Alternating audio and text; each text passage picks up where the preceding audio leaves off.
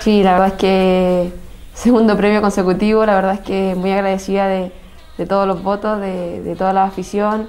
de, de revista Food que siempre en Chile siempre me apoyan y, creo que son, son importantes para hoy recibir este premio. Eh, creo que vamos al alza, eh,